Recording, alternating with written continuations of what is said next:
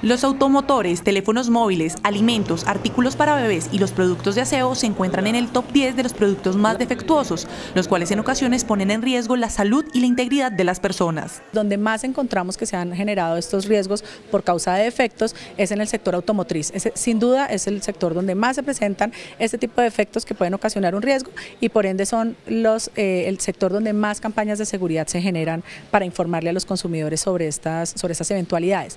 El segundo pueden los dispositivos electrónicos, tanto electrodomésticos eh, caseros, de uso casero, como por ejemplo teléfonos móviles. También recordarán que el año pasado fue pues muy sonado que una reconocida marca de teléfonos celulares lanzó una campaña de seguridad para recoger los teléfonos que estaban en el mercado porque explotaban. Entonces estos también, fíjate, son riesgos que se generan con ocasión de un defecto que tenía la fabricación de ese dispositivo. Esto ha llevado a que la Superintendencia de Industria prohíba la comercialización de algunos productos o que haya una restricción en la venta de estos por el alto grado de inseguridad.